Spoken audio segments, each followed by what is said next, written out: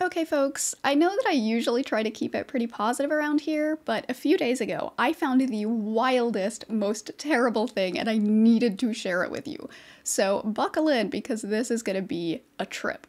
Before I jump straight into things, I do want to give a quick content warning. I'm going to be briefly talking about some pretty heavy stuff like domestic abuse and human trafficking and pickup artistry, so feel free to skip this one if you need to, but for the rest of us, let's get into this. I guarantee you don't walk around your house with a sword.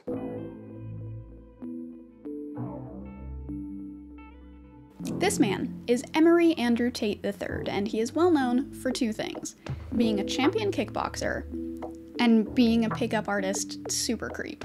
If you've heard of him, it's probably because he's been talked about by most, if not all, of the big commentary channels because everything he does is just terrible. Like, he's a pickup artist, which is shitty on its own, but also, when you look him up, you get lots of articles with headlines like these, where he's referred to as the king of toxic masculinity. And you can also read about how he got kicked off of Big Brother for hitting one of the women, like it's on video and everything, though he says that it was consensual, so use your judgment on that one. One of the worst things, which is only alleged, but one of the worst things is how he got in trouble with the Romanian authorities. So, he lives in Romania because, according to him, they have lax sexual assault law. So, why did he get in trouble, you ask? Well, for allegedly human trafficking. It's alleged that he had women held in his house against their will. And I think that some of those charges have actually been dropped. And again, this is all alleged, but. Now, it's not speculation that he also pressures his partners into doing sex work, which he then takes 75% of the profits from. Like, he literally brags about that on his channel.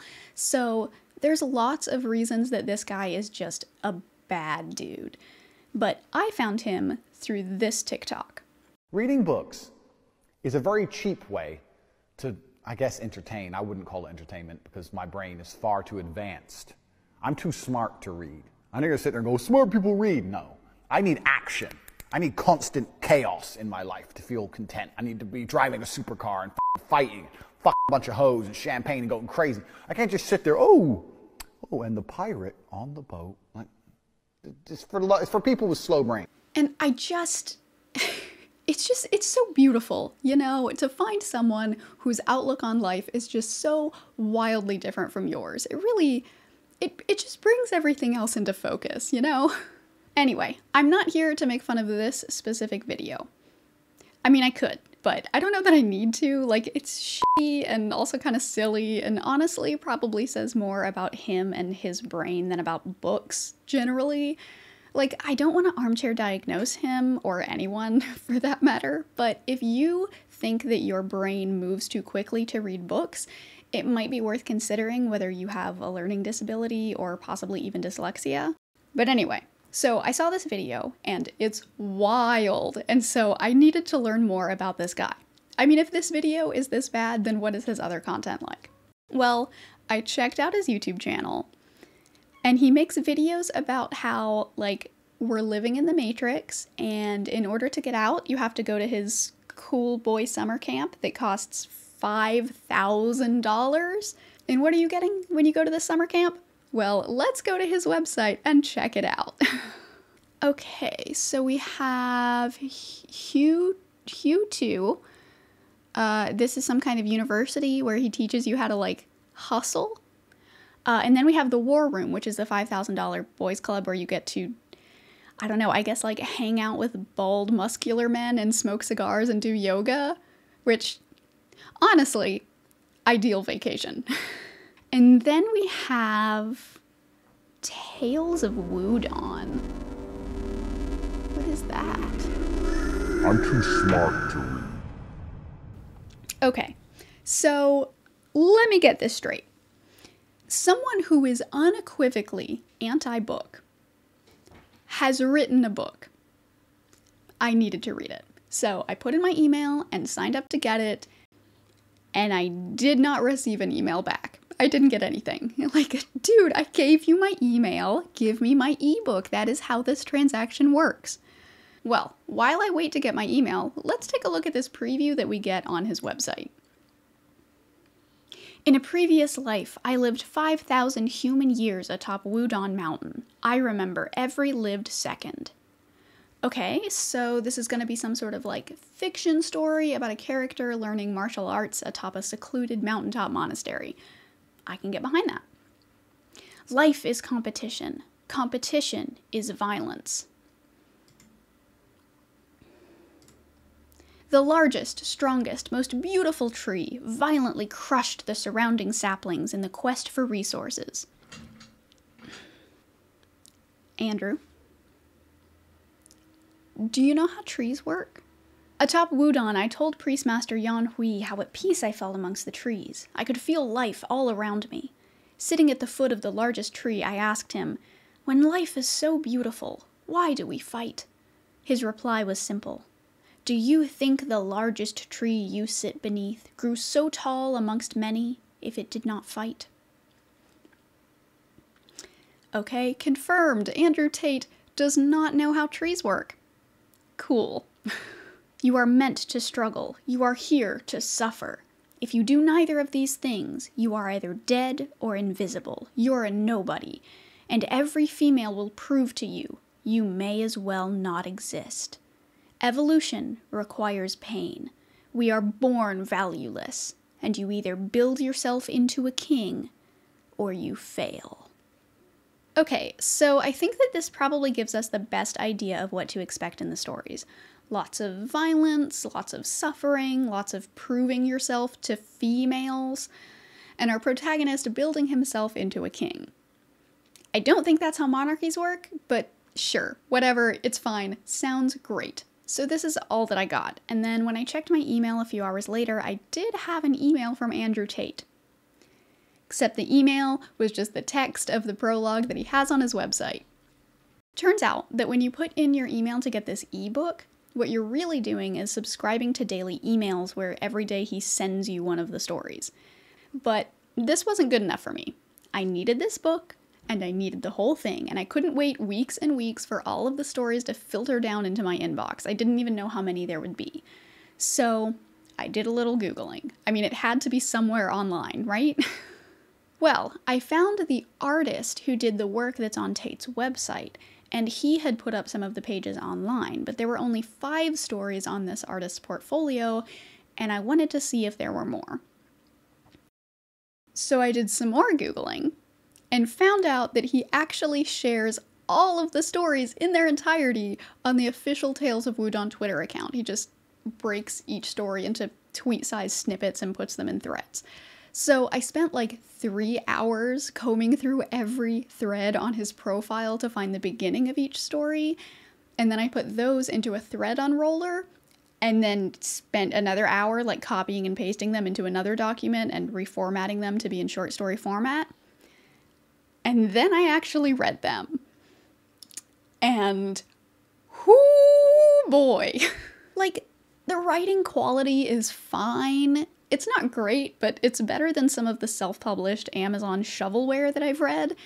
There are a few technical issues here and there, but honestly, I don't even really care about those. Like it's free. I'm not expecting it to be like perfectly edited or anything. And stylistically, it's not that bad either. There are actually a few lines that I really like, like he'd executed a perfect kill, exploding all of today and all of his tomorrows. And he took a short pause and turned his head towards the sky, as if he was acknowledging the gods of storytelling, commanding them to pay attention. And there are a few fight scenes that are actually paced really well, but let's actually stop and take a few minutes to just talk about these stories. So, all told, I found about 22 stories, and they're really not all that bad. They're all fiction stories that act as lessons that the protagonist, who's really just an author insert, learns from his martial arts master Po and then imparts to the reader. And while there are the occasional spelling mistakes, the actual content of the stories is fine. Like, the stories are actually pretty entertaining. Like, there's one about how the protagonist is curious about a scar that Master Po has, and he spends the whole story trying to figure out how he got it without actually asking Po directly because Po, as we see in the rest of the stories, is prone to violent outbursts. And it's actually really good. Like, I was actually invested in learning about this scar. And there's one story about how the protagonist and Master Po go out to this old burial ground and just punch a bunch of ghosts. And that's like just objectively cool. I don't I can't think of anything cooler than just punching ghosts. But the most interesting thing is that all of these stories have moral lessons, but most of those lessons don't really seem to fit with what Andrew says in his videos. Like the one about punching ghosts, it ends with Po showing the protagonist that his words are stronger than any of his martial arts stances. And there's another story about punching trees, where the protagonist is asked to prove his skill by killing a tree. And he tries to punch it a bunch of times and ends up like breaking all of the bones in his hand. And the master that he's working with is like, You haven't learned anything, and then proceeds to pick off all of the leaves, which will eventually kill the tree.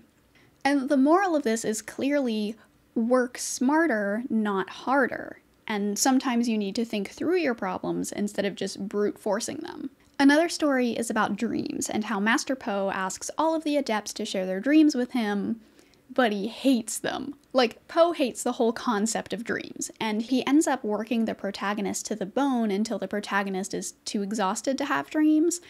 And I take this one to mean, like, don't let your dreams be dreams like action and work are more important than just dreaming about something. Other morals are about not being afraid of making mistakes and how failure can sometimes be a good thing and not letting people live rent free in your brain. And no matter how strong someone is, they will die. It's just up to you how you're remembered before that happens. And these morals are sort of basic, but they're not that bad the interesting thing is that when you compare them to what Andrew says in his videos and even what he says in the prologue of the stories, they don't really match up, do they? Like his other messages are all about violence and power and taking what you want and being above it all. But these stories aren't about that.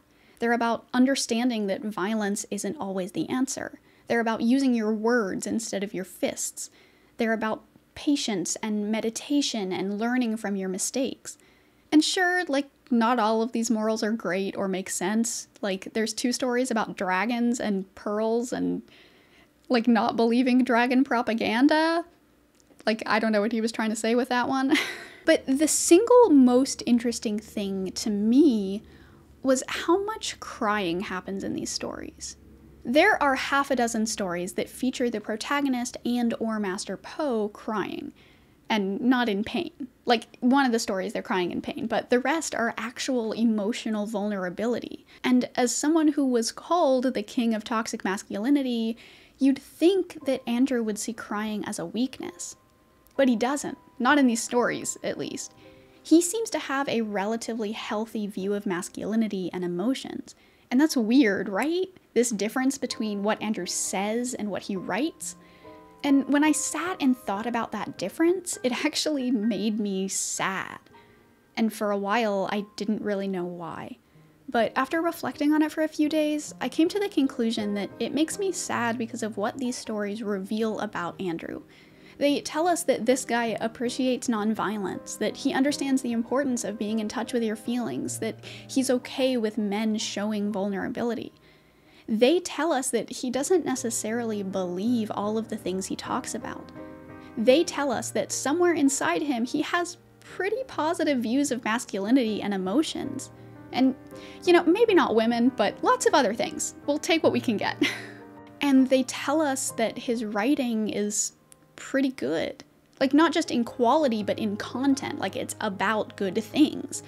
And I almost wonder if he'd had someone in his life, early, maybe a teacher, who told him, Hey, Andrew, this story is pretty good. I bet you could grow up to be a successful writer someday. Would he have turned out differently? And when I thought about that, when I considered what could have been if he didn't turn out like this, it broke my heart. Now, don't get me wrong, this guy is a terrible person. He is cruel and manipulative and has allegedly done some genuinely evil things. He is a bad guy. But I also believe that people can change. I believe that given the right amount of time and space and ability for introspection, people can change for the better. And I think that if Andrew is found guilty of some of the things he's alleged to have done, and if he ends up spending several years in a space where there's not much he can do but introspect, then it's possible that he could change. I don't know if it'll happen. I don't know if he'll be found guilty. I don't know if he'll have a change of heart. I don't even know if he can at this point. But his writing gives me a little bit of hope. This isn't the writing of someone who's evil to his core. And if he's not evil to his core, then he has the capacity for change. There's this saying when people show you who they are, believe them. And I think that this is true, but I also think that there are different kinds of showing. Andrew's actions show us something. They show us a very bad guy who is the cause of a lot of pain and darkness in the world. But his writing also shows us something, and it shows us something different. And you might be saying, Zoe, this guy is shitty. He's probably just lying and making up faux mystic BS for his fans. But I don't think that's the case. These stories have clear care and effort put into them. So while I think that we should take his actions at face value and judge him accordingly, I also think that we need to pay attention to what his writing is telling us. And it's telling us that Andrew Tate is a complicated dude. He is bad, but that's not all he is. This video was supposed to be fun, silly junk food. It was supposed to be just me coming on here, dunking on an awful dude. Like, this guy is awful. He's terrible. He says terrible things. And it was gonna be fun. We were gonna talk about how shitty he is, crack a few jokes about how bad the writing is, and then wash our hands and move on. But instead, it was actually really hard and not for the reasons that you'd expect. Like, it wasn't hard because of the awful, violent, ignorant shit that Andrew constantly talks about. Like, that sucks, but I can tune it out easily enough.